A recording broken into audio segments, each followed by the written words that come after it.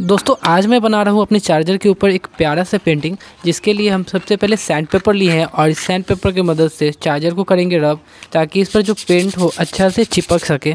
अब मैं छोटा सा एक बिंदी चिपका दिया हूँ, जिसको उखाड़ने के बाद सन बन जाएँगे। कलरिंग स्टार्ट कर दिए हैं। सबसे पहले हमने डार्क कलर लिए, उसके बाद लाइट की तरफ़ बढ़ रहे हैं।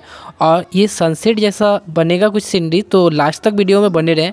और इस तरह का इंटरेस्टिंग वीडियो और देखना चाहते हैं तो हमारे चैनल को प्लीज़ सब्सक्राइब करें और इस वीडियो को लाइक करें। तो हमारा सनसेट सीनरी जो है, लगभग ये कंप्लीट है और कुछ एलिमेंट्स है जो कि हम ऐड करने वाले हैं। तो सनसेट एकदम रियलिस्टिक सा लुक हमने देने का कोशिश किया है, कुछ क्लाउड्स हमने बनाए स्टार दिए। देन उसके बाद हम इसको रिमूव किए तो जैसे रिमूव किए तो सन बन गया। अब मैं एक प्यारा सा ट्री बना रहा हूँ, जिसका टहनी बनाएँगे, उसके बाद लीफ बनाए हैं, और देन उसके बाद ग्रासेज बनाए हैं। फिर छोटा सा इसमें एक बर्ड ऐड करेंगे, एकदम प्यारा सा क्यूट सा बर्ड हमने बना दिया और हमारा ड्राइंग बनकर तैयार है।